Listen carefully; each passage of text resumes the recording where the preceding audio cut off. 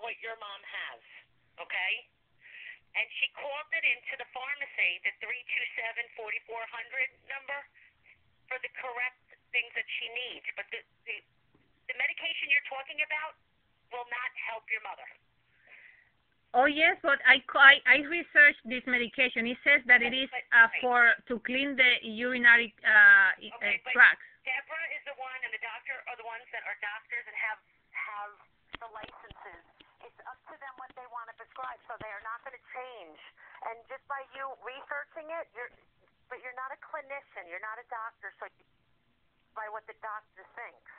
Yes, I understand what you're saying, but Yeah. ca- they cannot give an elderly, chronically ill, uh, epileptic woman with a heart condition in pain. They have to give her medication for the pain, and that's the only medication. That's what's at the pharmacy right now. They called it in. Uh, or what? What is the medication that they gave? So I, I, I know which What is that you medication. initially. The medication that her prescription drug plan does not cover that uh, Ms. Hoyt gave her was Pyridium. P-Y-R-I-D-I-U-M.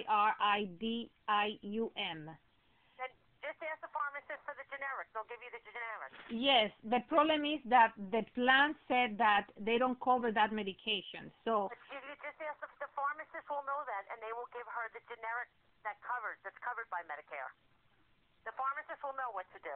Okay, let me let me get the pharmacy on the phone. Hold on. Okay.